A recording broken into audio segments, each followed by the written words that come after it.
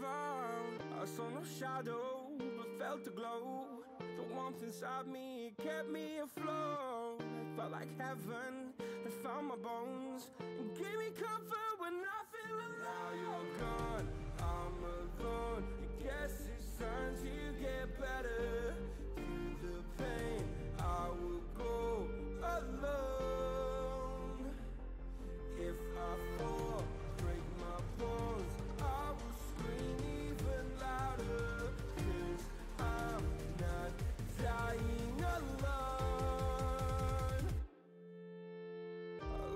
best friend to 23. She left her body and hovered above me.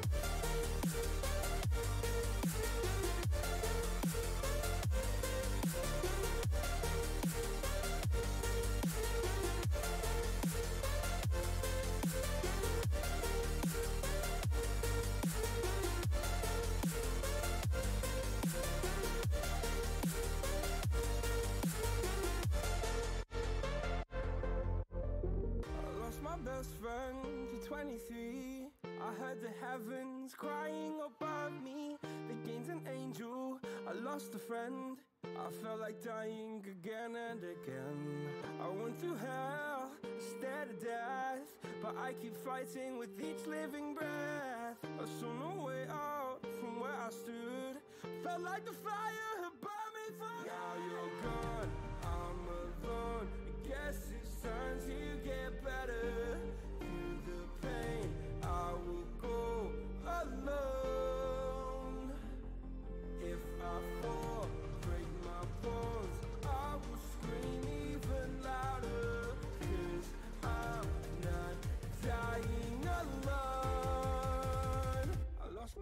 Friend.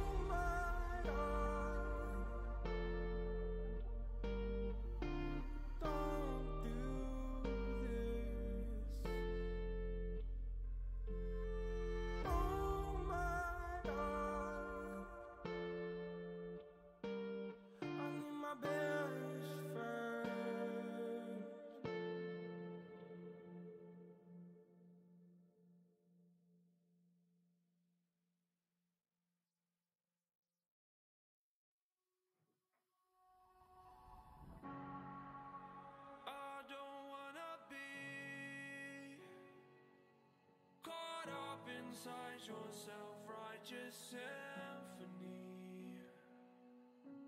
I would rather let this go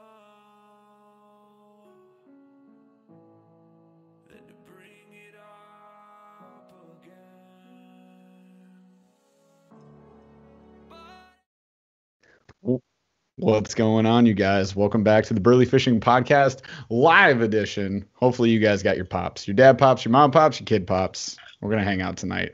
We're gonna have a good time. We got a we got a pretty pretty broad spectrum show here. It's kind of hey buddy, what's up? It's, it's Paul's kiddo who's like, where's the kitty, dude? Bro, the kitty goes meow. so we're goofing around before the show. Uh, all right, guys. So we got lots and lots of stuff to talk about. Here, here's the topic. Here's the topic. I'll see if I can maybe I can make a better title on the spot. You ready for this, Paul? Yeah, These are five fishing skills that we all need to practice, which is exactly Paul's title. These are five fishing skills that you guys need to practice. Things that you should consider getting into maybe trying out you know we're, we're, we're gonna we're gonna dance around here try some different stuff. Maybe things you're not comfortable with. Maybe things you haven't done before. But if you want to be you know i guess truly labeled a fisherman or woman maybe you should try these things. I think that you know this gives you a true taste of what fishing is. So we're gonna dive into it. We got tons of stuff to talk about. Uh, i think it's you know five what did i say? Five skills? So we got five things to talk about but you know us. We're gonna dive deep. That's what we do. Before we get to that if you guys like the content if you want to come back and join us you can join us every thursday 8 p.m eastern right here on youtube or over on twitch. You can do that as well. We love hanging out with you guys and participate in chat. We got chat we got super chat if you want to contribute to the show. That helps us out a ton. We got lots and lots of fishing gear that we have to uh, spend lots of American dollars on to review and stuff like that. But just just chat with us. Just post something in chat. We'll be sure to hit you up and comment back. And then of course you can subscribe to the channel over on YouTube. Subscribe to the podcast anywhere you listen to podcasts. Here, there, everywhere. Instagram, TikTok, Facebook, and Paul's Instagram as well. Paul underscore J underscore glass. That's enough self promotion for today. So let's oh yeah, next week, guys, Monday, Monday. Got a little Monday or Wednesday. Next week, Monday or Wednesday, there will be a giveaway. So I don't know. Maybe stay tuned for that. Uh, we've got the October wrap up. I actually had so many friggin' boxes this month that it spilled over, and October will be over when we do the October giveaway. But rest assured, it's coming. It'll be here next week. I'll bring all the boxes back together except for one that I'm not allowed to talk about anymore. And then we'll talk about those boxes and we'll have a good time. And we will do a giveaway. And I've got an absurd amount of tackle right now that was sent to me. Uh, so I'm going to have lots of extras to probably give away. And you guys will learn more about that later. We'll, we'll have some more videos dropping over on the channel later. But hey, without further ado, Paul, let's let's roll right into this thing. All right. Oh, fine. Are you done? Great. Yeah, I'm done. promo, promo, promo let's get to the show meet. All right. We're not even there yet. We're still on episode oh. question of the week. So I'm my question this week today, is man. my question, my question for this week: When is a lure truly dead? What is a uh. dead lure? Like when are you rocking something and you're like, "R.I.P. You're officially getting tossed." Uh, I would say it takes it takes a lot, but let, let's take a body bait for example. So let's start with that. So let's take a body bait. Mm-hmm. Uh, you know, probably when it explodes, and maybe maybe not even then.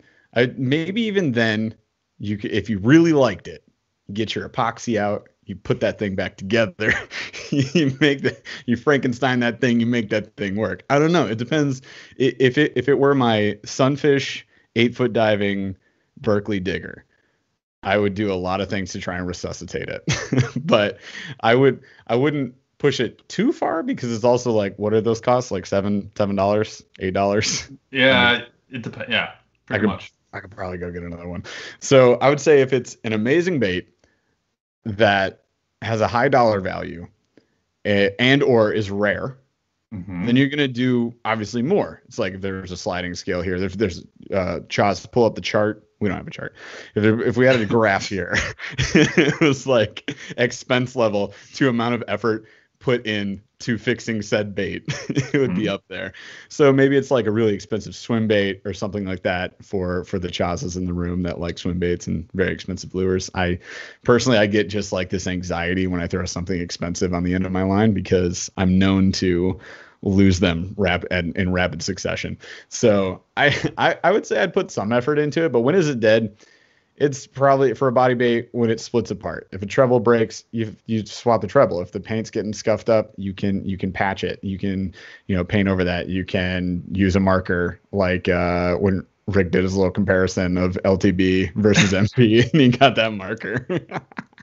Dude, I'll tell you Oh, right now, the bill. the bill. Yeah, once you break the bill, Oh yeah, uh, uh, RIP.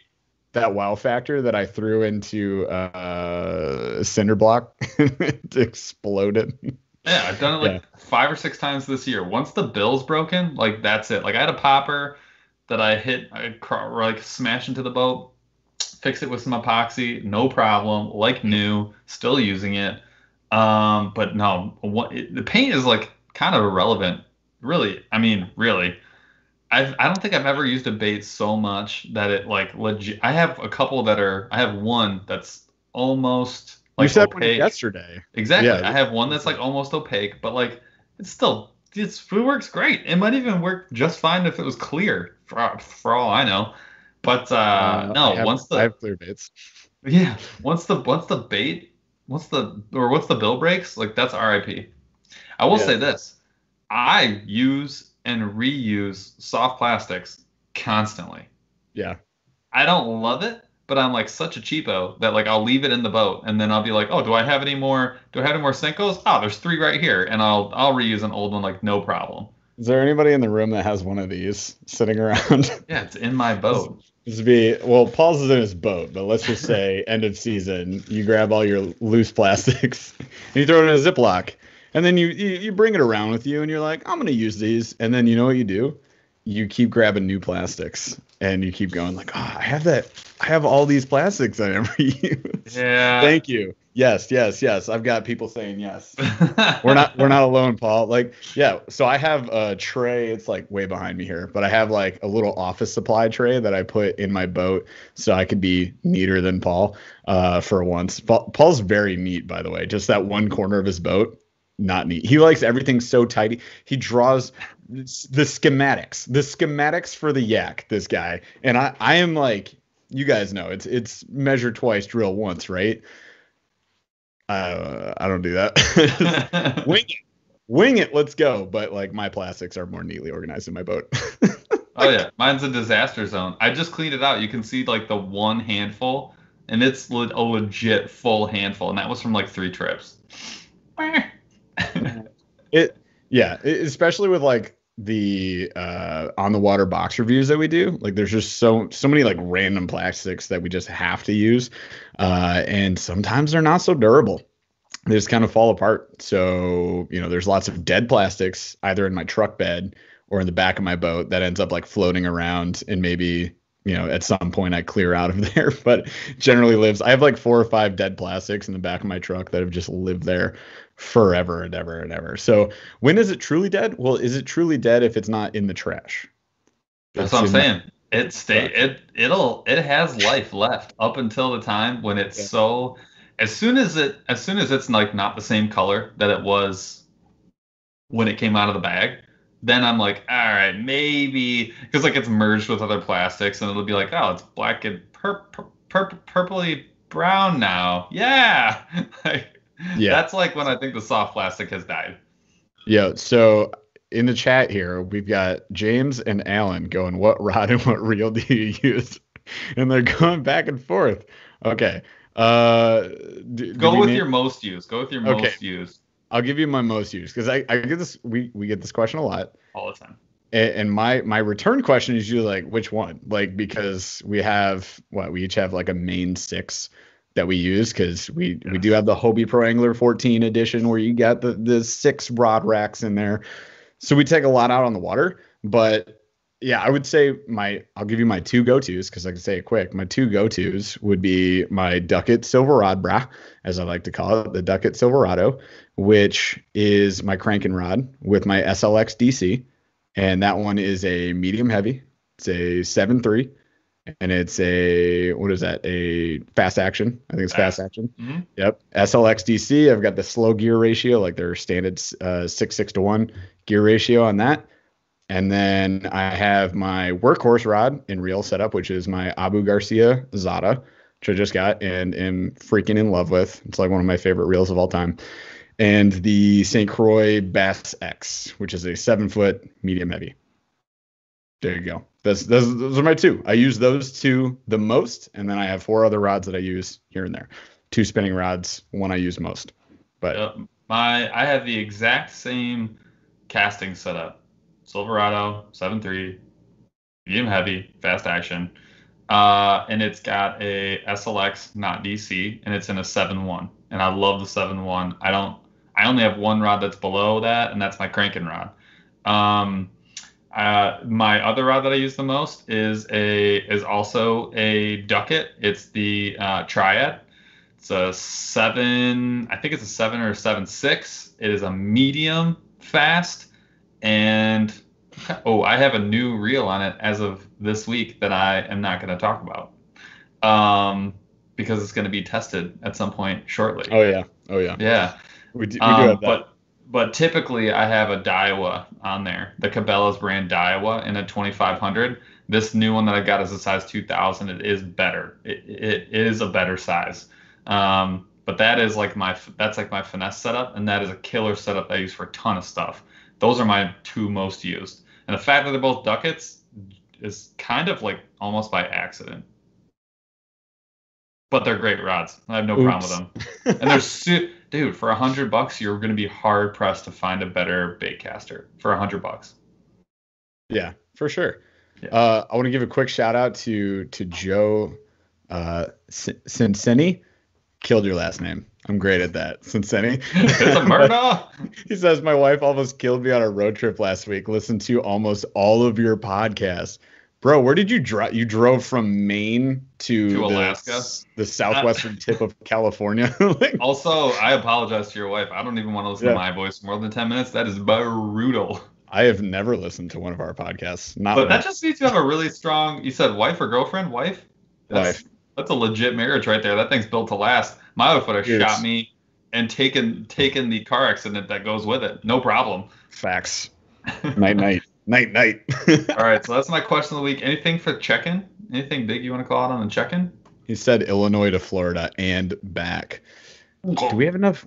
This is episode 35, by the way. This is, this is our 35th one. So you listen to 34, I'm assuming, episodes, which sometimes are two hours long. So that's an epic, that's an epic trip. When, when was your wife like, can these people just shut up? Your wife hates us so much. So I guess good. thank, thanks for that. We're like, no, now they're gonna go on another road trip and listen to this one, and he'll be like. "See."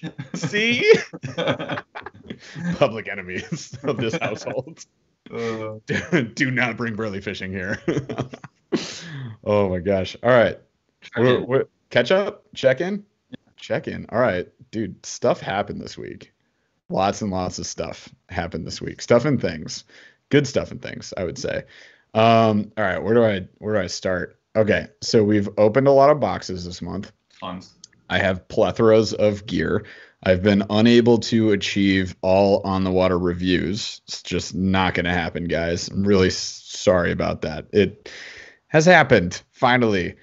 Wasn't able to do it. Uh, I knew it was going to happen eventually. I was hoping to be able to like push it to November, but uh, I guess that didn't happen. So, uh, Mark Gabriel is saying go go fishing. Okay, yeah, we we do that, man. Good we tip. fishing. Great. Great tip. Solid. Thanks for coming. Uh, but yeah, so I wasn't able to get them all out there, but I did get a chance to fish like half the mystery tackle box and caught a PB pike, like just slithering through the shallows on a bait that I was like, mm, eh. this bait is not great. And now I have to eat my words. So there you go. It was the Yo-Zuri Crystal Clear Minnow, a little like floating jerk bait by Yo-Zuri, which let's be honest, guys, it looks cheap. But that's why we do the in the office like unboxing blind and like I've never fished these baits before and I'm just going off of like, hey, uh what is Here's what I this thing? Yeah, this is what this looks like to me. This is what I think. Okay, cool. And then I go fish it because sometimes I eat my words. Sometimes you're surprised, right? And sometimes you are validated in not liking a bait. so that's why we do the on the water for sure. Alan, why do you want to see my thumb? I'm confused. It's getting weird. Guys, keep the weirdness to a minimum. this is a family show, people. All right, so uh, the the pike was amazing. Caught caught a huge pike. Bank fishing did not have pliers. Uh, if that's why you're asking to see my thumb, I still have both of them. Was able to salvage said fish and get him back in the water, and he swam away, and it was fantastic. It was majestic. It was amazing. I was super stoked. I texted Paul immediately. He was mad. That's what happens. Well, that's bull. No, no, no. Check the receipts. I will get them out. okay, he was pumped, but then later on he was like, "I'm still like, what did you say? What did you say about the pike?" It was like yes, 10 o'clock still, at night. I'm excited for you. it was fantastic. So that was great. He's mad because he didn't beat me with yeah, Mike. The- yet. yet. We'll see. Remains to be seen. Uh, another cool thing happened, and this is gonna. Uh, I'll end up. I'll have to do a video on this, but um, the guys over at Vexan, you guys remember Vexan? Uh, the main guy, I think his name is James, Jamie. I'm gonna slaughter it now. So Vexan, we've said nice things about before. They they made our least favorite baits, but you guys are not gonna believe this.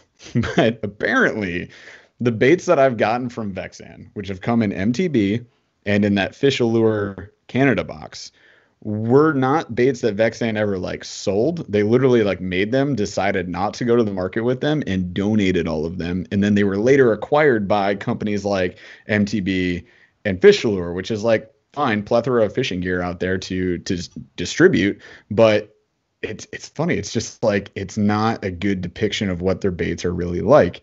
So the owner called me and literally just said like hey, wondering if you can give me feedback on those baits. I gave him some feedback, took it super chill, super cool guy. And then he sent me a giant, I mean, it's like way behind me.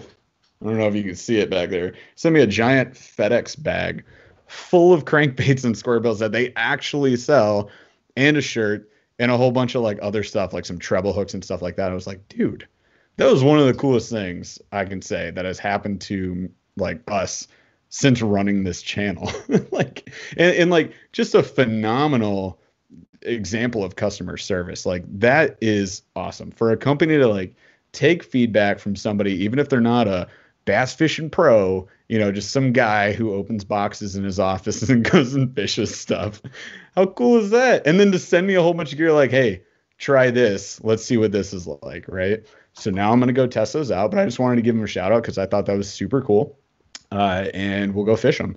And maybe you'll see Vexans popping up in a box at some point, unnamed box. We'll see, but we'll see. Well, yeah, yeah, yeah. We'll, we'll we'll find out. But that was like that was pretty much my week. And then uh, Paul and I are, are attempting, attempting, mind you, we'll see what happens to brave the wilderness this weekend and possibly go fish some giant dinosaurs. I don't know. We'll see. We'll see.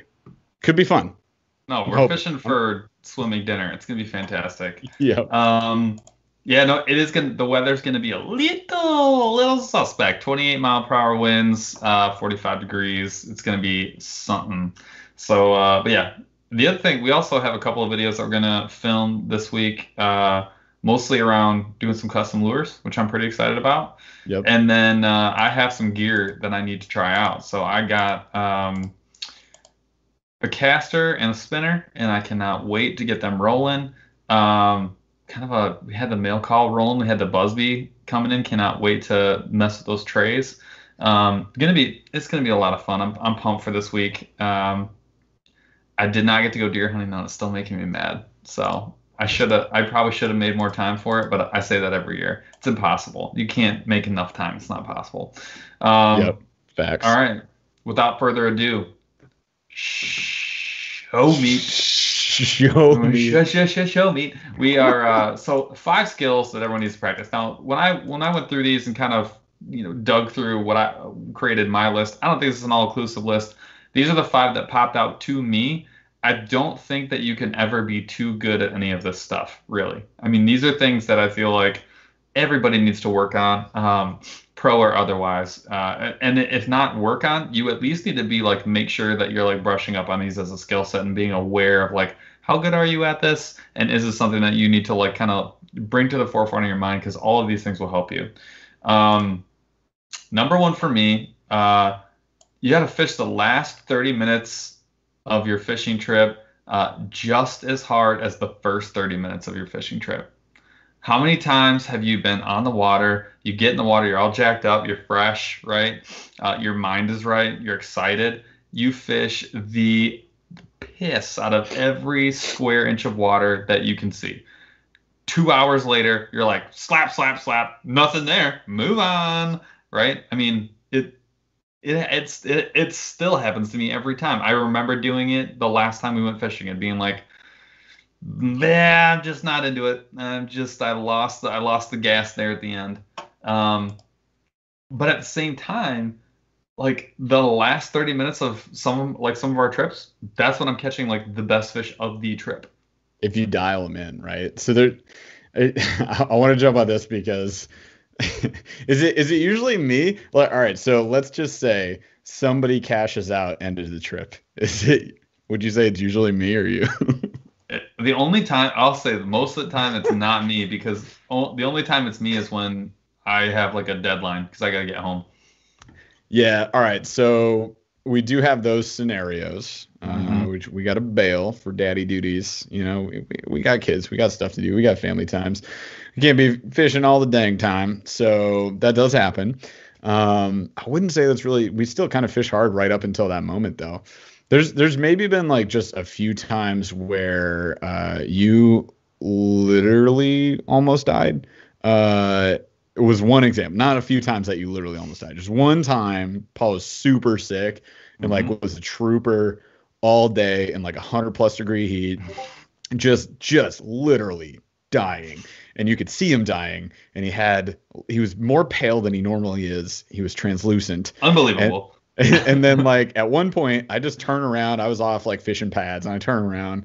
I'm like, oh, Paul's gone. So I start paddling back. Bro's over just like trying not to die, like in the water up to his waist, just splashing water on his head, just like overheating and dying. yes. So we had to we did have to call that one off. And then there was one time recently I can remember where we were on a lake by me and I was just not having a day. I was just not having it. Um, I did catch a few fish. It was like one of those uh, I think it was the I think it was the monster bass topwater box Oh we yeah. were fishing that day. We were. And we we got you know we got into a few and it happened in the beginning of the day, but then there was just this big stretch, nothing happening, and like everything I threw was not working, and I was just missing fish left and right, and I was like, dude, I'm done, I'm done, I'm done. I had bad attitude, and I just fell apart. And that was one of those where I can say I definitely did not fish hard the last 30 minutes of that happened. I I know I but the flip side of it too, like that pike that we caught uh, or that I caught last week. Yeah, like the last 10 minutes of the day. And I was like, I didn't, I was like, dude, I knew I had to leave. The wind had kicked up. And it was raining on us. It was cold. true. It was We an had- awful day. I hadn't, I hadn't caught anything in like hours, but I was still like, all right, I'm going to find a good trough in this like dead ass section of water. And right at the top of it, got smacked by a giant pike. Um, and I can remember other times like, like uh, very vividly. I don't know, maybe it's just because it was at the end of the trip, but I caught the best smallmouth I've ever caught. It literally two feet at a hole that was two feet from where I was Yeah. going to walk out of the river. yeah, Like legit last cast. Um, that one, that that first time we found that section of the Grand that we've been to a few times since, we caught four or five fish like literally on the float out, like trying to get back to the ramp, like at the ramp. Um, it just and, it, and it's more of like a it's more of the idea that like you get so jacked up for the first 30 minutes right i mean you you you cast a thousand times to the same spot and you Yeah. do it with like the utmost confidence you're like i'm gonna catch something here it's water um you need to like find how the, the the way that you can optimize that so you're not you're not you're not you're not setting your first 45 minutes on fire by overfishing a spot and then ruining your last hour by not fishing a spot enough. You see what I'm saying? So Paul and I are notorious for this. Notorious for this. I I would say we've gotten slightly better and we need to continue to be conscious about this. But if you guys like put in and you're like, sweet, first spot, and that first spot you fish for like until you get a bite versus a timestamp and you say like, all right, bro, we spent 45 minutes here. We got six hours to fish today. Maybe we should keep moving. That's one almost one sixth of our day. Yes. But like Paul and I have spent legitimately like two three- hours. two to three hours in one spot, and we're like, bro, the Mm. fish aren't here. And then we move, and then we find them in the last like 30, 45 minutes of the trip. Yeah. we're like, why weren't we fishing here all day? And if you're in a kayak, so many times. if you're in a kayak, you must have just set your day on fire. You're not just like gonna burn to the other side of the lake in like two minutes. I mean, it's just not a thing. So that I I do think that, like it, it's more about like it's a it's more about like not the specific 30 minute window or whatever. It's more about the idea of like understand that like the freshness of your brain is not gonna like make you catch more fish in the first 10 minutes. Like that one spot is not the only spot in the whole lake. Some people, if you're in a boat, they like to do a lap, right? I know that's like a really popular way of like kind of getting that out of your system before you like really go fish something to like make sure that you've sort of inventoried all the cool spots that you think are going to be productive that day. Then you kind of break it down. Um, You don't necessarily have that luxury all the time in a kayak, and so you really need to pay attention and kind of like check yourself, not only for the first like maybe hour or two, but for like the last hour or two as well. Yeah, for sure. So I, I think that's a great tip. I do want to pause real quick, give a shout out. Marlon is in chat. Marlon runs uh, first responders fishing and or first response fishing. Sorry, they just started their Instagram and we guest starred on his podcast yesterday, and he was a stellar host, and it was Yeah. super fun. It was kind of like we podcasted yesterday, we podcast today. We're gonna podcast tomorrow, Paul. I don't know. and then we're gonna tie some stuff, and then we're gonna go fish some monsters, and we're gonna have a good time. And Then my wife's all- gonna love me. hey, that was like a midday. That was like a midday podcast, but I signed Yeah. you up for it, and then I was like, bro, it's gonna be like 30 minutes. we talked to Marlon for two hours. It was a good time. My bad. I never apologize for that. Yeah, just tell my boss it's cool. Just fire the guy. sorry, sorry, sorry. Uh, I do also want to shout out. So we got uh, Mark and Tyler here are struggling a little bit uh, with catching some fish. They're having a tough bite. You know, it's been a tough bite here too. Like I get you guys, and honestly, somebody just said try a fluke. Love it. Uh, honestly, for me, it's been jerk baits. And I'll tell you, like, I'm not the first to grab a jerk bait out of the box. I get it. I'm like, I'm a northern fisherman. Like, I should be. That should be like every month forever. I should have those ready to go. Paul does, but Paul's been forcing me into it, and we just caught that giant pike on the jerk bait. So I mean, I'm a believer. Trust me, guys, I'm a believer. So throwing that, and if if that's not working, if like the body bait's not working, the rattle maybe. I love the fluke idea. Like if you got to go more subtle, the fluke money like you can definitely crush on that any any other uh suggestions if the bite i mean let's i'm assuming you guys are going from the bank i'm assuming that because you're not talking about your sonar or anything like finding them And where so- are you? yeah it, it depends on where you're at Chaz goes swim baits. Somebody else said that in here too. Uh, so yeah, guys, let us know where you're at and ex- precisely so we can pinpoint you. I don't need your address. general space where are you fishing like down south or what and uh, are you fishing from the bank or like what do you got going on so hit us up with that whenever you do we'll we'll, we'll chat back so bama somebody's fishing in bama Dude, I'm I'm legit. I'm down. I'm going to. Okay, Marlon says dynamite that's not a bad idea. It'll work. like stuff I would- I'll, I'll show you I'll tell you. I'll tell you right now. If you're in Alabama, I would downsize my frog, and I would go. I would do the. I would do a spro, and I would leave it with a long, the long legs. I would that. I would start there. I would go to stick bait or buzz bait, yeah and then if none of that works, I would go to the um, find the the the hardest bottom flat where there's like a big open stretch of water that doesn't change depth a lot and is really not um, not too super deep like we'll, we'll say two to four feet and Mhm. I would the fluke is not a bad idea at all but I would be like I would be running either uh I, I'm I legit probably square bill yeah uh so we got so it looks like tyler and mark are in like new jersey and ohio New Jersey So they're- and they're more- Ohio. they're dealing with what we're dealing with kind of Man, yeah, jerkbait is probably your best bet. Square sure. bill is still not a bad idea. A fluke with um, how am I gonna do that? I would do a. I I might even just go paddle tail with underspin. Yeah, paddle tail underspin has been kind of money for me. Searching it, man. I would be Yeah. search baiting it. Spinner bait's not also not a terrible idea. That's probably like when I get into a bad spot and I'm like, "Dude, I don't know what the hell I'm doing. Spinner bait allows you to just attack so much water in a great way without getting hung up Yeah. and dealing with a bunch of crap. And you can just, I just pound the hell out of the water until I found them. Wo- Worst worst case scenario, uh, like if I'm really like I, I need to catch one fish today. I don't care what it is. I just need to get, get one, and I'm gonna feel good about. I Might even go go to a swim jig, and I might attack. I might attack weed lines. Yeah. No, I, I like that approach a lot. And I also like going from like searching for them to some guys here are shouting out the Ned rig, which I mean, you guys know is like one of my favorite things, but it's, I, I, I gotta start finding them or dialing them in before I can really like maximize on that. Otherwise, you know, if you're going for the best technique when the bite is tough with the Ned rig is the dead stick. You're going to just dead stick, you know, five spots an hour and like you're, I, hopefully get one. I tend to agree with Jeff. I will say though, um, yeah, I probably wouldn't go. I probably wouldn't go Ned. I, I would probably do. I'm I'm going for wounded fish, or like Yeah. like some sort of bait fish presentation still. Now, the there is a good point. Like if you if you're in the north, you may have transitioned to like like um, fluke like territory where you're going with like a non-vibration, non-crazy action, like muted presentation. That on a drop shot, if you rig it right and you have an, a, a light enough weight, you can use it as a search bait, and you can you can work that really nicely and, and still make it work. I, I'm probably not gonna go Ned unless I know it's like a rock bottom.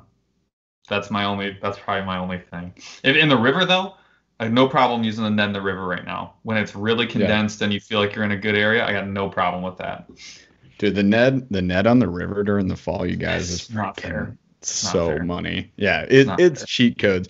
You guys have seen some videos where we go out and we fish the Ned on our river of choice, and we can just cast it out literally anywhere, and it's just like boop boop. Oh, we got one, and like It's not fair. it's cheat codes. It's amazing. So yeah, I mean, So- on a lake, it, it's a little bit tougher for sure. Um, if you can dial them in, if you can find them, then yeah, you, you, you can use that. Or you throw a turd spins on it and then fish it moving or doing the lift and swing. Dude, Just I've saying. done, I've done I've done the weightless the weightless screw a screw a spin into the back uh, like a willow leaf into the back of one before. Done it a bunch of times. It works, Yeah. no doubt. Amazing. Um, so that's the river is actually a good segue because my skill number two is actually, and this is a little broad. I had something specific in mind, but I, I made it broad. Fishing the river, yep.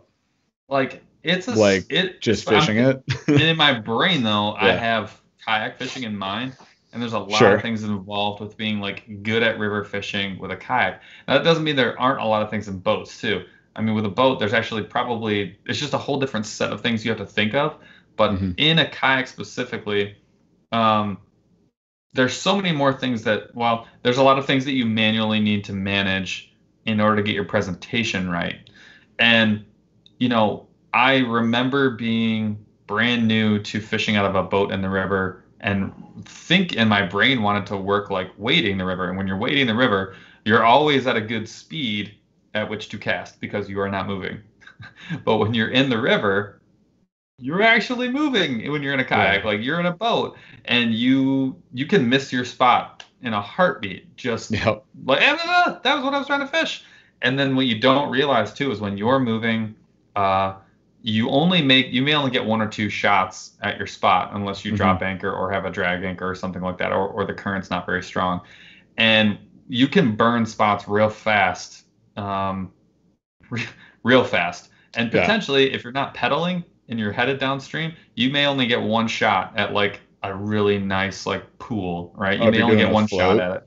Yeah, if you're doing a float, Yeah. you may you and you can't. It's too the the current's too fast for you to paddle back up.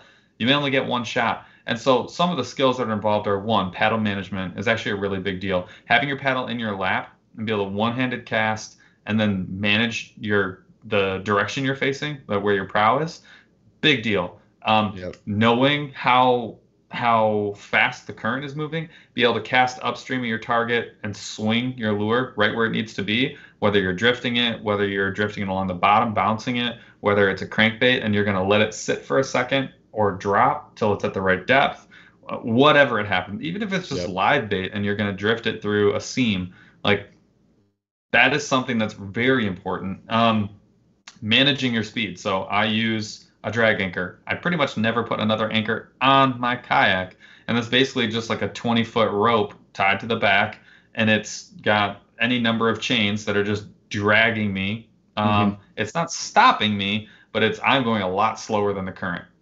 It is the I think it's I find it to be the easiest way to manage your speed, but the, even that takes some skill too. Um, getting that getting that dialed in. Um, Yeah, not thi- running into things. Yeah. Not- knowing knowing I I think one of the skills that I've had to acquire w- with jumping on board the drag chain situation is knowing how many chains you need because I've gone, you know, up like slower rivers and slower than I expected current rivers where I've had three chains and I needed one and a half. And I dropped the three chains and I'm like, cool, I'm now stopped. And you can literally stop in a river without a real anchor, which Oh, yeah. is not ideal if you're trying to like just cast and move. Um, but yeah, like that that is kind of cheat codes, and it, it's really cool to do this, which is why you know part of why I think it's on this list. One of the skills you guys need to practice with is you know you get used to like pinpointing a spot. Knowing how much time you have to fish it, and just mm-hmm. like letting yourself roll through it, and then trying to hit like the front side of a laydown and the back side of a laydown, like that's super cool, especially if you're flipping like jigs or neds or something on the river. That's you just flip the front. You're like, maybe they're here. Nope, nope, they're on the backside. Like that's a lot of fun. That is, it's a ton of fun. We we fish rivers a lot. You guys have seen it on videos. Like, pro, what are we 50 50? It's gotta be, yeah. It's got to be 50 50. Like, river is almost my my primary choice though. If I can go out and do that, and and generally speaking, depending on what's going on with weather and you know the the flowage and you know all of that, like I can generally say if I go to the river, I'm gonna catch a nice smallie today, probably a pike too. Like, it's gonna be a good day. But on lakes, I don't feel as confident. So uh, that's probably almost why it's 50 50. I'm like, dude, let's just hit the river. Let's just do that. I think the other thing too about a river is if you fish the same stretches long enough, you'll find that certain spots just aren't productive. Yeah. And, and it's just like a lake. You'll you'll hit it where you're like, yeah, there's pretty much only carp over there. I'm not gonna find anything else, which is fine. And if you like carp, great. But you're gonna find that you're gonna find patterns. And that's another thing about fishing a river that I think gets overlooked is, and it kind of relates to skill number one, is like you get in the river, you start fishing. And and I there are times when I do not do, I just don't do that. And I I I have a stretch of river in mind where I know the first quarter to a half mile yeah, you can cast it all day. You might catch four or five fish. None of them are going to be big. And you're not going to find them in the same spot. And they're not resident fish. They're just bumping around. If you go up that half, three quarter mile, um, you're in the money spot. And you're in a spot that has a lot of pools, that has temperature changes, that has tall grass in some areas, and a trough on either side of the bank.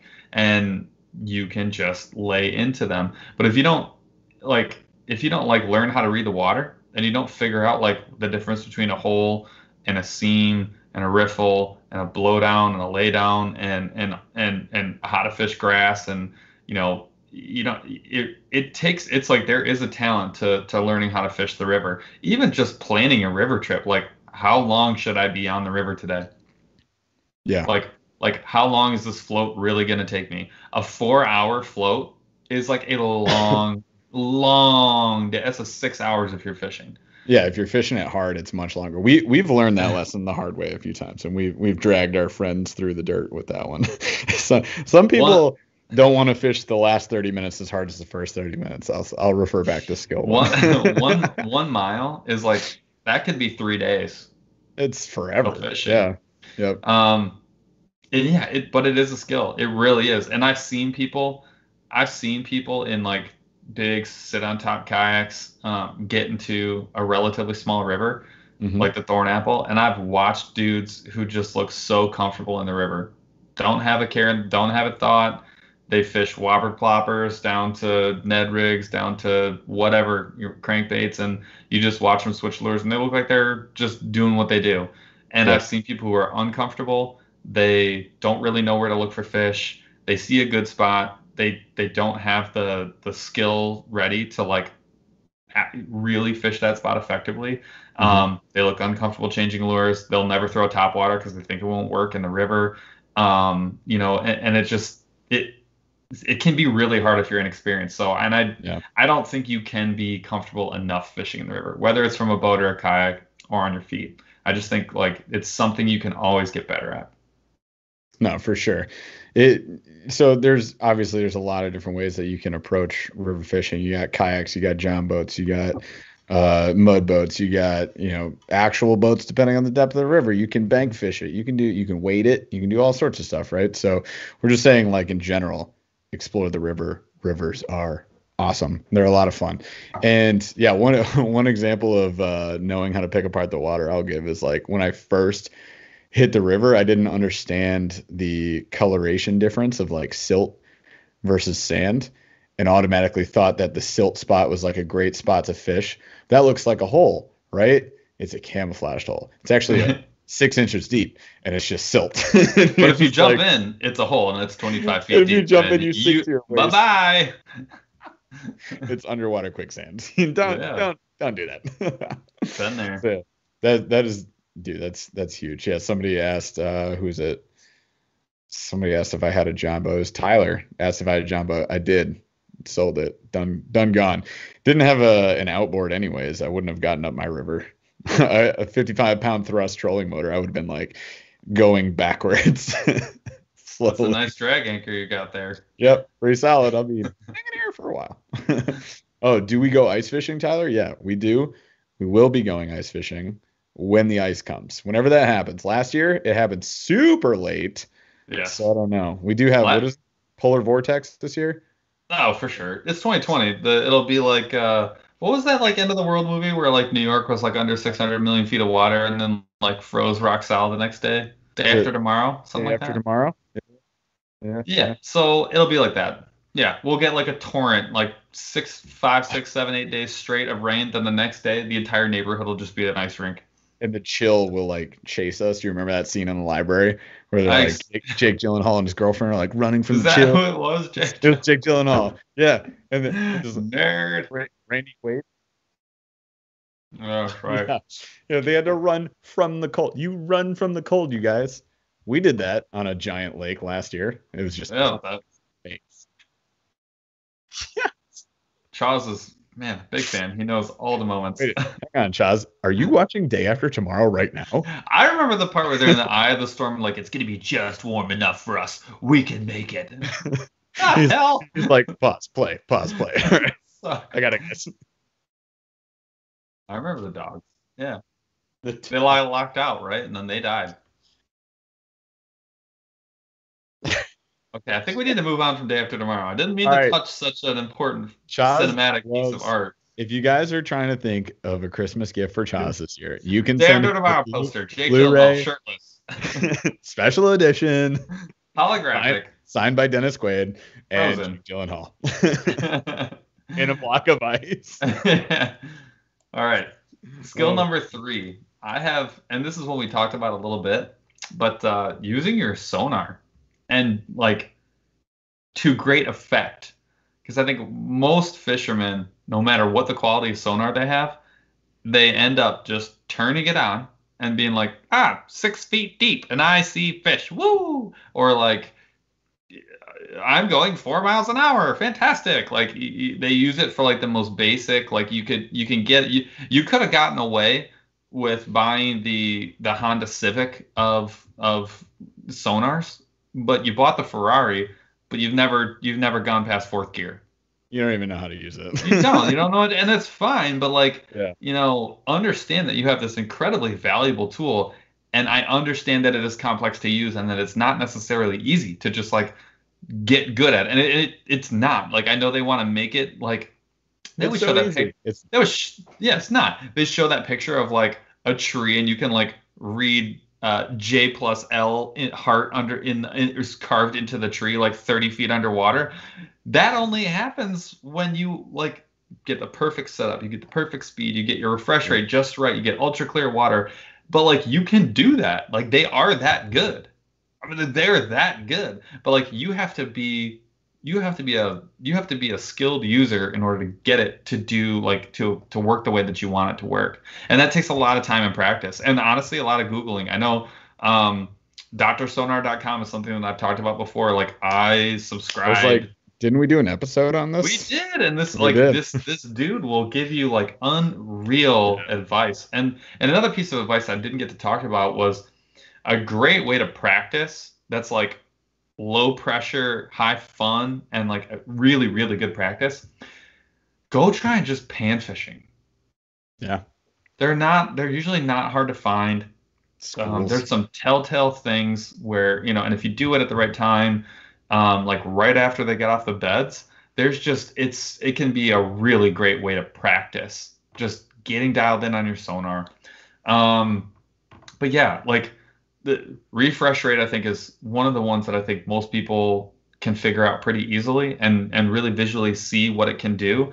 And then the second thing I'll say is messing with the gain.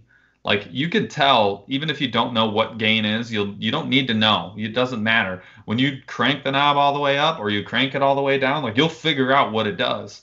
And you'll understand that like you can always hit the go back to factory settings. Like it's three buttons, and like you can't break it. Right back to where like you can't break it permanently. It's not going to happen. So yeah. um, I highly recommend that like put some time into it. It it will change your hashtag game. Like it it it, it can le- le- it'll legitimately change the way that you think about fishing once it becomes like For a sure. skill set versus something that you're kind of like uh, very apprehensive about or or very just like dismissive of. Yeah. I mean, it, it it's funny. Like I didn't lean on them until I got one, and then I still didn't. I don't even think I used mine after I got it for like six months, until like we went fishing one time. We started using it. We we started breaking it down, breaking down the water. I was like, I've been fishing like my lake, for example, the one right here. I was like, I've been fishing uh, a third of this lake, which is a barren wasteland, and the fish literally never are. Like, and if you're gonna get them, it's random magic. Like they were cruising from there to there, but they were never here. like you snagged one, you know what I mean? So it's yeah. like, man, all the wasted time where I was just like, do I cast here? Like, do I cast here? What do I do? Uh, yeah, the sonar changes the game. I mean, if if you guys are bank fishing and you're like sonar, whatever, like I get that. It is kind of helpful though to see like what is 30, 50, you know, 60 yards out from me and you could cast a portable sonar. The little bluetooth guys we've mentioned on episodes before. Cast it out there. What are you what are you rolling through? Like let's say you want to throw a square bill a crankbait. Like what are you rolling over? Like what, what what sort of structure is out there? Is there a drop off out there? If you're throwing a ned rig or drop shot could you like get it out to that drop off should take some accuracy and some practice but if you know what's out there i promise you it's helpful. Like it's extremely oh, helpful. Yeah. If you it, um I, there's no scenario where having more information is not going to help you. Yeah. Whoa, shit! I don't want to know more. Dang it! Like no, I don't want like to. It's, it's it's gonna help you. Like it will it will help you, even if it's helping you move on. Right? It it's it's helpful. Um. So yeah. So and I say manipulation, like the the skill of like understanding the different things that you can do. Like there are times when I over zoom and under gain my sonar in order to get the gain dialed in and, and fish that super deep water. A lot of times I'm just looking for something specific and different uh, that I can fish. Sometimes I'm just looking for a whole stretch of water that's just full of marks that I'm just going to drift in a lake. I do that yep. a lot. Um, I used the sonar to really great effect a couple of times a few weeks ago when we were doing like the mega slam. Um, mm-hmm. Yep. We had sat down on a beach at one point, and right when we got off of it, I noticed there's a big drop off. I pulled two fish right off that drop off because I could see them there. Um, not even 200 yards, five, 100 yards from that same spot, there's this big hump that Jeff said was there. I was able to find it on my own, fished it for like 30 minutes, didn't catch jack, but I could see there were fish down there. Went to the black and blue, got all the way down to the bottom, and jerked Save one up day. right out of the hole. I mean, it's just yeah it, it, if you get if you get skilled with it even if it's just like you learn one thing in a season it is absolutely worth your time and it's something that again these are skills that like you just uh, can't be good enough at Yeah. like you can never be like too, like I mean it's not never like realistically like the there's always something better that you could do with it and the better you are it, it's it's helping you. There's no like max to it. Yeah, no, 100%. Construction Steve says, "Teach me, Paul." Ah, hey, maybe we should do a video like on like a series where it's just like maybe I'll do it on my Instagram. I'll just do like one thing. I'll be like, here's one Oh, thing yeah. that you can learn. That's all. Maybe I'll maybe that's what I'll do. that, that dude, that's how you're gonna that's how you're gonna bang on Instagram, man. You're gonna I'll blow start up. with I'll start with ice. I'll start with ice fishing because I'll tell you, This ice fishing season is gonna be nuts, you guys. Dude, using my- we you- were we were not doing content last ice season. no. The first Oh, remember episode. remember that can that that decided to take walk on me? that would have been That's a such great TikTok, TikTok. waiting to happen, dude. I, I, I bet I still have that. I think you I'm, still have the film. I'm gonna I'm gonna make a note. I'm gonna look that up. like that was hilarious. But we we were not doing anything. Like not. I think I had my camera and I was like, I'm not even gonna film this. Or or did it freeze? I think my batteries wouldn't even work. Like they were just dying, and I was like, ah, we don't. I got a pro tip for that that I want to tell people. So I've, you remember how like the older iPhones they weren't insulated and they didn't have as much power, and so they would like drain if they were like in your pocket, like just in your pocket, um, like in your pants pocket or whatever, and it was really cold. And maybe people who are down south like have no idea what I'm talking about. You probably I'm talking like 20 degrees and below. Nothing nothing warmer than that. But when it's super cold, like you'd be running, right? And it would be like 30 degrees and your phone be on your little armbandy deal and and it would just die and you're like ah, why? It's fully charged man. No it's like seven degrees and it drained your battery. Um dude the trick is just put it in your inside pocket by your chest. I keep mine in my wader pocket and it it could be i mean we're talking like dead nuts winter and Yeah. you're good like you will not have that problem. And now with your new battery pack you can keep it like right inside here. You're not gonna have a problem. No, we'll we'll be we'll be good this year. Real quick, uh, Joseph wants a shout out. Joseph, shout out. you've been outshouted You've been outshouted. All right, next. What's next? yeah, next one. Uh, so my next one, and this one, prove me wrong. Tell me you're too good at fishing dirty water. Me? No, you know that. I, I'm I'm just saying in general. Like everyone who's listening right now, like, is there anyone out there who thinks they're too good at fishing like really heavily stained water? I I don't think you can ever be too good at that. And if Yeah. you are, you broke it. You you go start getting a paycheck Yeah. for doing that because it's not easy. Um, I'll tell you, I've written a couple of articles about this. I've had some really good days fishing dirty water. I rarely approach them jacked up like I'm gonna rock the whole day. yeah.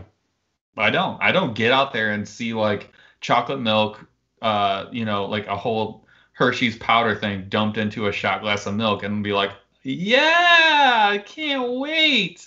It just, it's harder. Um, Yeah. but I will tell you the things that I have learned. Um, first and foremost, cover becomes 10 times as important. Doesn't matter what time of year it is. It does not matter what time of year it is. Uh, the other thing too is your ability to cast becomes five times as important because what you're Yeah. going to have to do is you're going to have to bash a fish in the face. You're going to have to hit them. Then you're then you can start fishing. Anytime Yeah. you're casting around in stained water, you've already lost. You're not doing well. You, you're behind. Um, you want to hit ambush spots only, and that means either like some kind of structure Mhm. uh, or a, a place of safety. Uh, Yeah. Because even predators, big predators, their sense of like they're all their senses are dulled, and like everything except for the most apex predators, they're not out there hunting because they're not gonna find anything. right. Like they are gonna have the same challenge that you are. All of those fish are hunkered down by some piece of safety where they feel safe, uh, some piece of structure where they feel safe. And in order for them to like go and eat something, it has to be like the the freest of meals, the hottest of cheese pizzas, like, and it has to be free in a plate, ready to be eaten in front of their face before they're gonna be like, it's just not. That's just how it is. Like that's just Yeah. how it is. Like they look at that whole world as a danger zone with pikes swimming everywhere, ready to just apex them right off the census data for that lake. That's just what they're waiting for. Um, So it's it's not easy. And then the other thing too is you can't be loud enough. That is the time to throw buzz baits, super big old spinner baits, the biggest jig with the biggest crawler that you can put on. Um, and the other thing, dark colors, black, dark purple.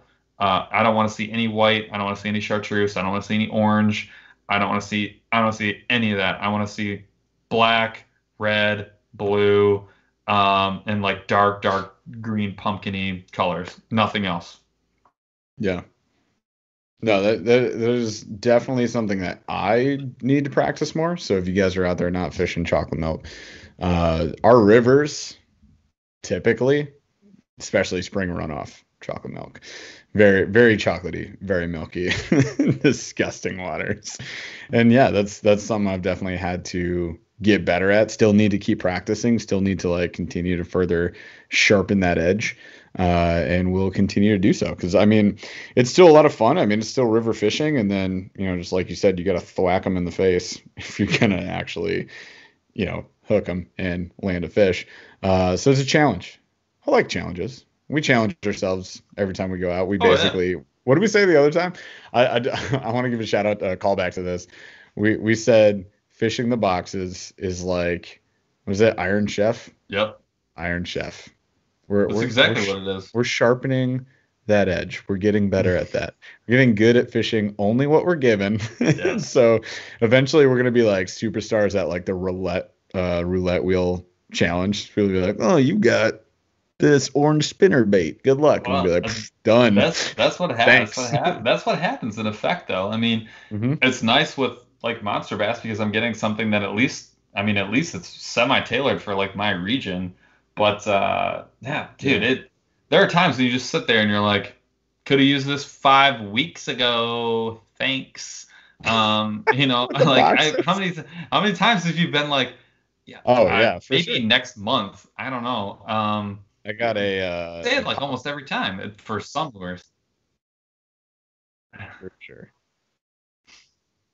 Yeah, we there's there's definitely Stop, Chaz. Chaz talking is trash. chirping in I just ear. there's definitely times where you're and I mean you'd rather have it early than late for sure, but uh like the the the, the top water box was well timed, right? And that makes a big difference when you are when you have become limited on a fishing trip to like trying to smash a box. Yeah, and then other boxes were ill-timed. And then also MTB, I got this poppin' frog this month. so I was like, dang it again. That's Bad why I say, I mean, you didn't get a frog in the MB box, and that's probably because like it's useless here in Michigan right now. But Right. Yeah. please. yeah, Real All right, quick, last- Trophy Trophy Trout TV would like to know what is your all-time favorite bait? All time. One bait. There's a whole To episode rule for them this. all. No, no, there are Oh, multiple son episodes for this of multiple categories. What is your all-time favorite bait? Livingston lures. Oh, I'm gonna say it bait and it's, ever. I'm gonna say one and it's gonna be wrong. It's I'm gonna be wrong. It won't make we're because we have we actually have.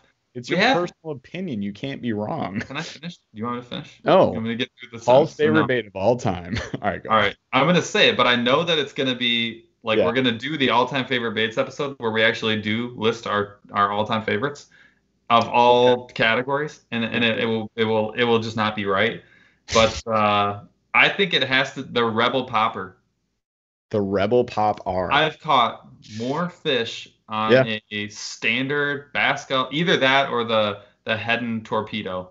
I- yeah, I've caught more fish on those lures yeah, um, on every type of rod that I have, like heavy bait caster, ultralight, everything in between, um, on almost any given day, and all different types of fish. I've caught Yeah. trout on them. I've caught, I have not caught any like salmon on them, but I've caught largemouth, smallmouth, pike, bluegill. Like I, yeah. I've got gar on those. Like you name it, I've caught it. They always work. I have confidence in them. They're not expensive. You can get them everywhere. They're super durable. Like that's my one of those two. So Paul can't see chat, but Chaz says the Bucca Bull Shad. You haven't fished that yet. I actually have one. This No. tiny one, tiny one. To Cha- Chaz is laughing at me right now. I have like the you can buy this at stores in Michigan Bucca bullshit. It's tiny, but I do think it's a pretty sweet swim bait. I I have thrown that a few times. It's that thing is dope. Um, not my favorite. Well, yeah, the bigger one that Chaz. Oh, think- Chaz's bigger one is better. Are you done? anyways, Chaz, go back behind. Moving on. all right, so uh, wait, my favorite, my favorite Yeah. of all time, I think.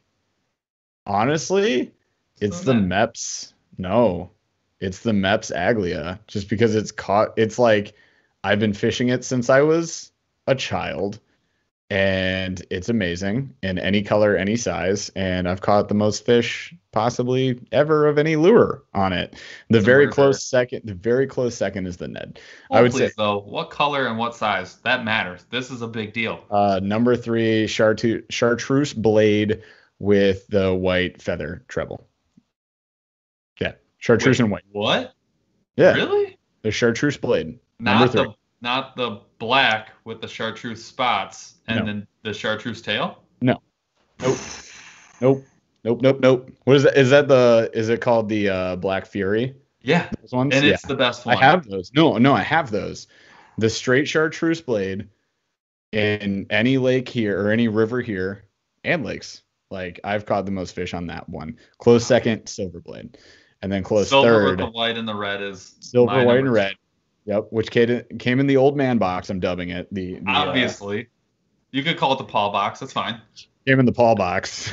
the Smoking Hot Lures Club. They gave me a Mepps Aglia, and I was like, mm, throwback. They hit me in my heartstrings, man. And we're good. Thanks for the refill. it's gotta it's gotta be like that i have so many of them too and yeah it's gotta that's gotta be up there that's gotta be my favorite one the ned the shark shark turd shark deuce are we calling it shark deuce Yeah, shark deuce is number two for sure easy second Yeah. Good question. I hate Yeah. you for asking it, but good question. uh, the uh, all right, Um, skill skill number five, fishing a lure's sweet spot, and what I mean by that is not get not switching away too fast from a lure, and then Yeah. on the flip side of that, not fishing not fishing something for way too long. Like how many times have you gone out and been like, I'm gonna make this work. It should work. I'm gonna make it work. And then you just hang on now when we do the box reviews That doesn't isn't count. that basically what the whole thing is but that doesn't count. That's totally different. All right. so for us personally guys and we've talked about no, hold on, hold on. We have talked about this. We specifically were like, look, talk I'm about go- well, we've gotten murdered by it before, where we've been like, yeah, I fished the gosh darn gigantic uh, tin, fifty dollars worth of aluminum buzz bait all goddamn day, oh, and it was not working. And you're like, maybe I just just give it 30 minutes and then move on, and we're just gonna say, I'm sure it's good. It looks like it should work. It didn't work today. Moving on. Eh, it's hard to do because you're like committed to trying to, you know, show off what the lure it can possibly do. But sometimes Yeah. it just ain't in the cards that day, and you should be you should be fishing a drop shot, not a freaking buzz this bait. is this is exactly why it changed from a required slam to an on the water review was for that purpose entirely. It was like i wasn't at that point i was getting just too frustrated to even like say have we even fished all the baits yet? And like i'd be on one bait and i'd be like dude are we freaking done yet? Just Yeah. this is ridiculous. But yeah, so now it's like, okay, if it's Danny the Duck was in the box, I'm like, all right, we're gonna fish it where pike should hit, bass should hit. If they're not hitting in 45 minutes, I think I did this on. last two weeks ago. It would have been on the box that Yeah. I fished on the water. A different box, yeah. It, it, op- at box and I fished it on the water and uh, I think I said on the video I was like if this catches me a giant mus- a muskie like I'll keep this box and it didn't but I was like I'll fish it in the only spot on this lake where they would be and I'll fish it for 45 minutes and I did that I timed it I did it I fished all three of those top waters and then I was like I'm out and then we fished the rest of the baits like the rest of the time on the other side of that lake but yeah sometimes you just got to do that no for sure like you can definitely and then you get inside your own head and you're like like you said, I'm gonna make. But that's where it's like, I think I think you have to. And this is where I feel like we talked about this before, where like knowing how to use a lure. Right, and that comes with experience. So, like a whopper plopper, like understanding that it's not necessarily flat, still water that you want to fish it. You want to fish it with a wake, with a chop. Like that's Yeah. that is where it excels because it, it actually stands out from even the chop. Um, crankbaits, I think, are a great example, and this Yeah. is where I this is where I feel like one of the reasons why I have been successful with crankbaits and why they're a go-to for me is that I don't give up on them too early but I Mhm. don't run them too hard too long. And you need to try 15, 20 casts, three or Yep. four or five at different speeds, uh, and sometimes with like a erratic motion. And you, you have to throw them in a couple different spots before you know, like, this ain't it today. This ain't the one. Um, this ain't the one. but I'm not gonna run it all day either. And the Uh, same thing goes with the Ned. Like, don't have success with the Oh, Ned yeah. in a rocky bottom, then you hit sand and silt where the fish can't even see it, and fish it for the rest of the frickin' river. Like, don't do that. yeah. Um, it's it's a fine line because you may have like the lure of the day tied on and you didn't give enough time, and then the flip side of that is you may have the lure of the uh, of the day in the box and you may not even Yeah. get to it because you ran the frickin' A rig all freaking day. You're staring there. daggers. Been there.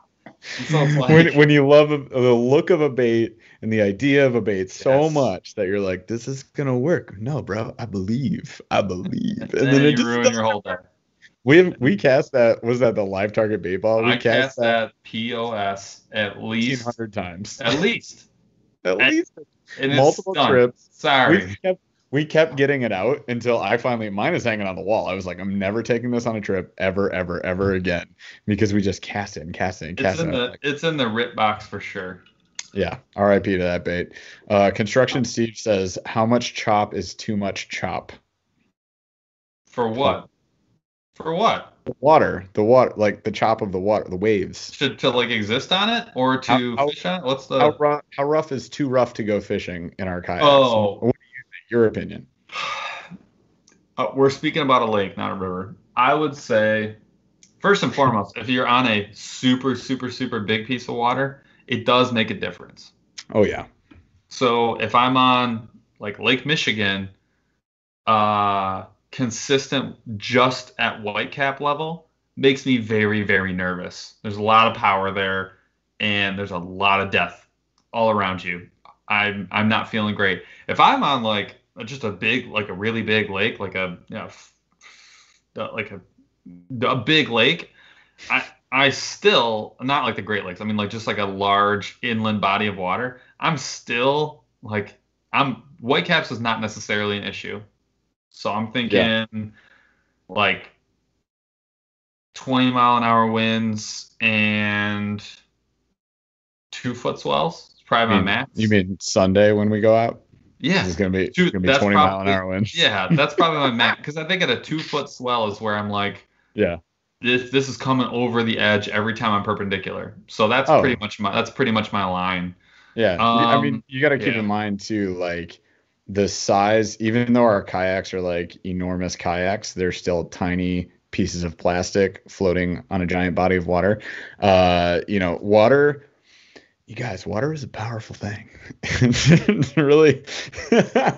Tell me I more. don't, I don't, even- I don't know if you guys know, but water is really powerful. I don't know if you guys Uh, know, Jeff was trained by Bill Nye the Science Guy. It's really showing. Cap, Captain Planet. What are you talking about? He's our hero. Water is one of those amazing elements that formed Captain Planet. It's kind of powerful. Uh, yeah, well, no- so did Heart, and that doesn't really count, does that, kid it? to, that kid talked to monkeys. Be quiet. That's right. Uh, if you don't know what I'm talking about, you're not a millennial. yeah, welcome to our lives. Somebody earlier was like, "How old are you?" And I was like, Oh. 32. And they they were saying like 21, 25. I was like, "Oh, I'm so flattered." No, I'm like just hard 32. like like old decrepit Yeah. 32. I thought you were. Thought, wow. All right. No, anyways, back to my point. Water will kick your butt. It, it will chew you up, spit you out. It will beat you to death. It's a bad, bad mamma jamma. So if if we're on like our kayaks, like I'm not. Mm, it's uh, mm, yeah. If it's like maybe two foot swells, which I think is what uh, Paul said, like I am going to not worry about flipping my boat. I know that that boat's not going to flip in that, but it's going to be just I'm wet and being pelted and filled with water, and the water's, you know, running out of the scupper holes and all that. But it's just, am I going to put up with this? It's going to be so hard to stay put. We did have that day. It was not, wouldn't have been two foot, but like, well, that, that was like 15. No, to, it was, it was like 15 to 20 mile an hour consistent. winds. Yeah. Yeah, it was. Yep. It was not. It was not pretty. yeah, we were getting wrecked, and we got out to like the biggest part of that body of water of that chain of lakes, and I was just like, we need. I'm done. We need to. We need to turn around and go back to the smaller sections. So we did. Uh, it was awful. Um, yeah, 10 bar the fishing machine says, yeah, just watch the video where Jeff got owned by the river. Hey guys, water's a powerful thing. This is a PSA to let you know, because Oh. also Paul sent me out there. Paul just he was like, he'll be fine. And didn't tell me not to do it. So Paul Hold please. consented to this trashing. Yeah, but but also, uh, I thought because I was reading water and I saw you can see this in the video, the to the right to the right of the dam, all the way up along the tree line was Yeah. actually very trim water. Yes, it was.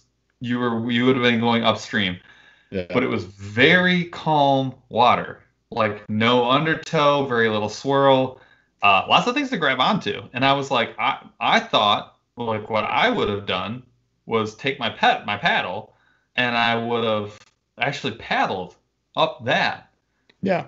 until you got See to the point here- where that ran out, and then instead here's of what you didn't here's what you didn't understand. Kayak, I even pointed your kayak right at that. And then Here- Jeff is his kayak's facing this direction, and this is like the calm, nice area, and he immediately goes and like Guess- I was like, guess how "Ah, much guess there?" guess how much guess how much choice I had in doing that, Paul. I- this much choice. Zero choice. It was literally like this is how powerful water is. I was like, Mhm. go this way. And the water was like, nope. I was surprised. I'll be honest, I was like, stunned. No, no, no. Once you were once I saw how fast you were pedaling.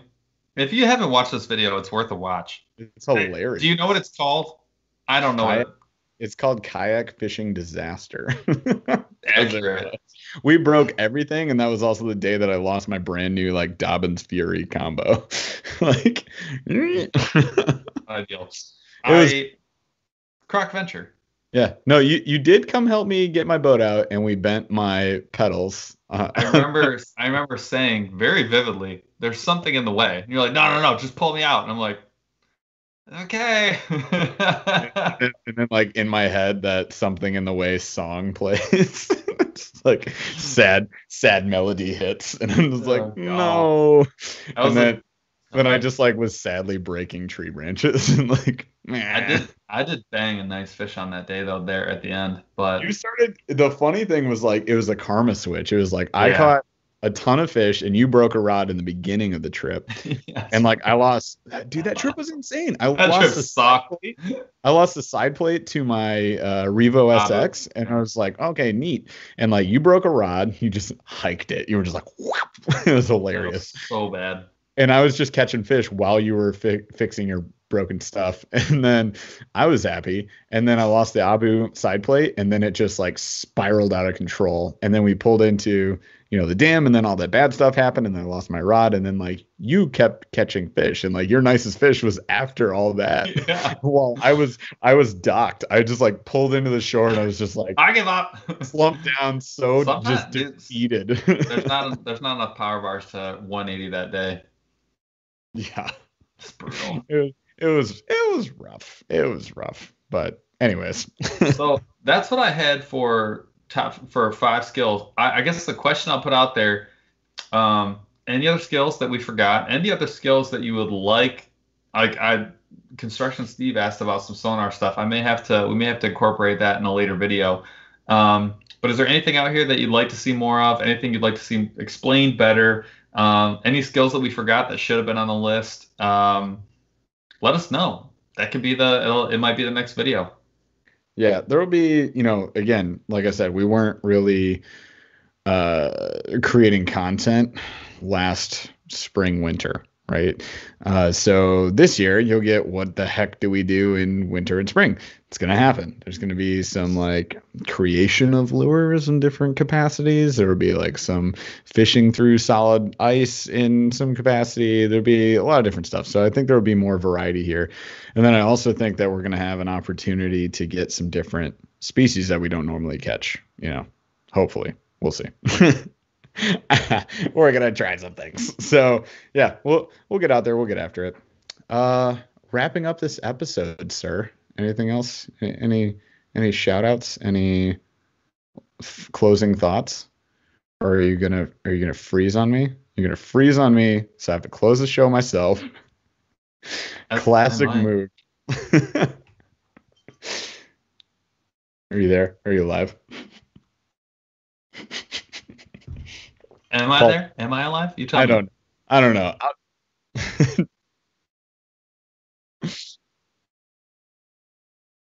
oh, Paul's Paul's fine. He's there. He's somewhere. Everything's great. We're not gonna give him a minute. We're gonna close the show, Chads. It's over. I'm not giving him a minute.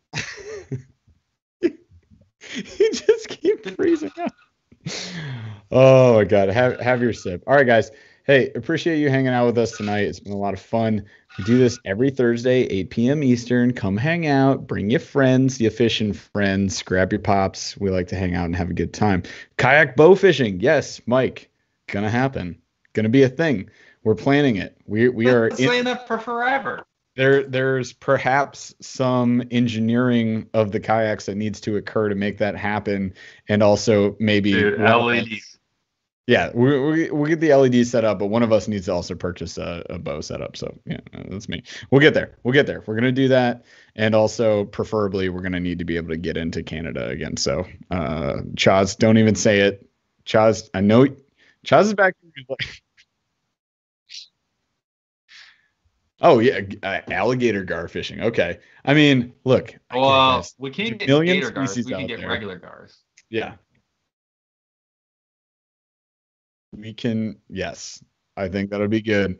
We will travel. Traveling will happen. It's going to go down. We'll we'll be fishing with some super cool fishing buddies here next year. It's going to happen. I'm not going to name names. It's just going to happen. So just stay tuned. Stay tuned. All right. So if you want to stay tuned for that subscribe to the channel on YouTube, Burly Fishing. Check us out on Facebook, Instagram, TikTok, all the works, all the stuff, all the things. Uh, and subscribe to the podcast. You know what you could do? That would be super helpful? I would thank each of you individually is you could drop us a five star review on the podcast when you subscribe. And if you haven't dropped a five star review and you're subscribed and you're like, who is my boy that was listening for 27 hours with his wife? Probably more like 40 hours yeah, bro. Tyler? Tyler? Somebody, somebody back in here said that. It's way back in chat. I can't find it.